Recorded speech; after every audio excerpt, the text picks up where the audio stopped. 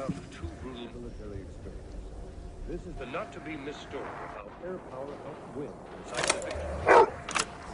Fielded up the bodies of six seasons at Vietnam. By September the 10th, it was Hey, close the fucking door. That's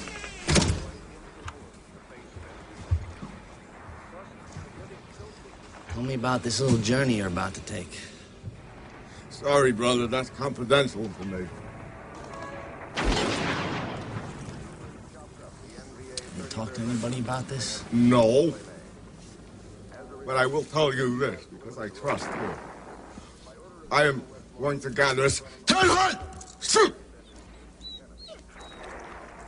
I am going to gather an army of invisible warriors. This time I will have experienced, well-trained troops. Military force is not constant. It, fuck.